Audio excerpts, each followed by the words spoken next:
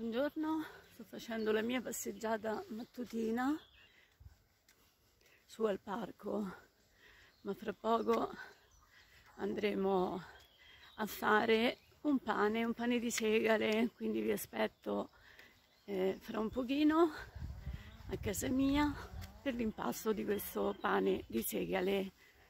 Ciao ciao!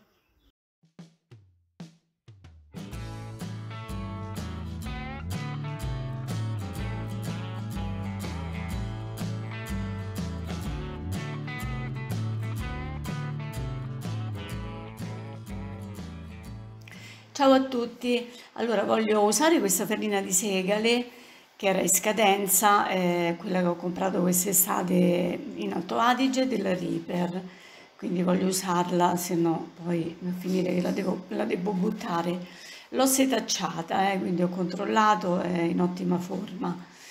Allora, sapete che la segale va sempre tagliata perché sennò è difficilissima da lavorare, rimane molto appiccicosa ed umida quindi io l'ho tagliata con un po' di zero, se volete anche con la 1, eh. Eh, visto che ehm, ha pochissimo glutine la segale, quindi è sempre meglio tagliarla per poter lavorare meglio l'impasto. Ok, ho miscelato le farine, ho messo un po' d'acqua, io ne ho messa 400, poi vediamo alla fine eh, se ce ne vuole un goccino di più o un goccino di meno. Ci metto i ligoli, il lievito madre, ne metto 90 grammi, metto e continuo a mettere acqua e giro semplicemente con un cucchiaio in questo modo. Ok. Continuo a girare mettendo ancora acqua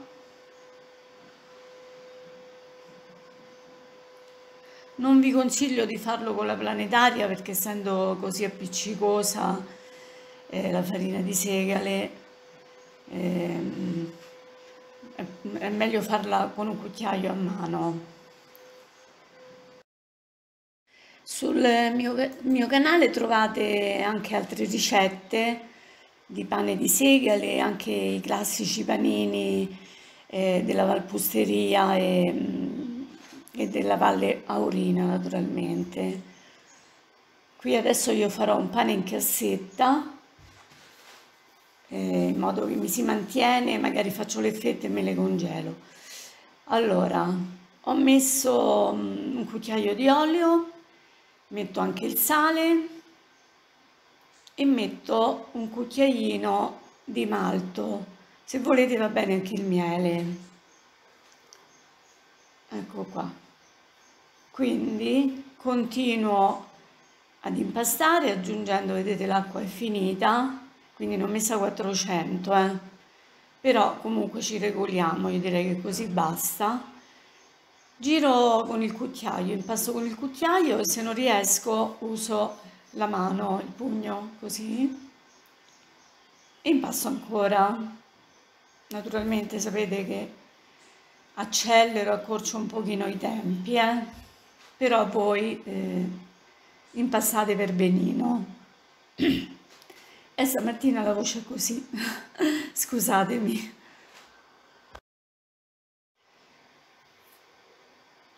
Continuo.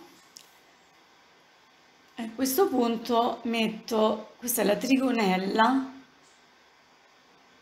ehm, è un'erba che si usa molto in Trentino, eh, metterla nel pane ci metto i semi di zucca altrimenti potete mettere dei semi vari eh? io adesso ho messo quello che avevo in casa.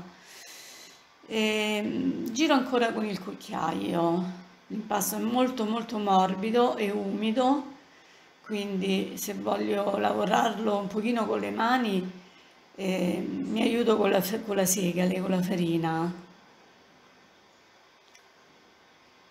Io adesso sto usando una farina zero perché la segala è finita, l'ho usata tutta per l'impasto, però è preferibile usare eh, la, la, stessa farina, quindi la segale. Ok, adesso cambio recipiente, ho liato un recipiente e ci metto l'impasto. lo copro e lo lascio lievitare. Naturalmente non aspettatevi il raddoppio, avendo poco glutine non crescerà moltissimo, però aspettiamo 5-6 ore.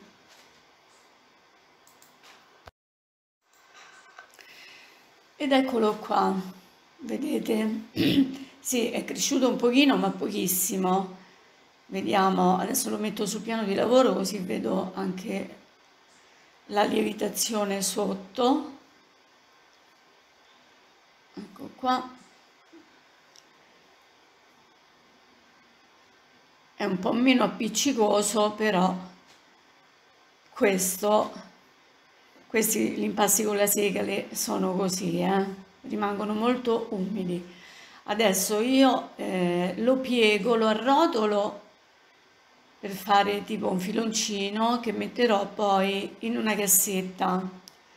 Oh, naturalmente se volete farlo senza cassetta procedete come facendo un filoncino normale eh? O una pagnotta volendo. Io voglio fare questo pane in cassetta adesso questa volta. Quindi ho liato il recipiente, poi vi metto la misura, è anche troppo grande questo, eh, ce ne voleva uno un pochino più piccolo, però vedete ci va lento, sicuramente non uscirà fuori ma non importa.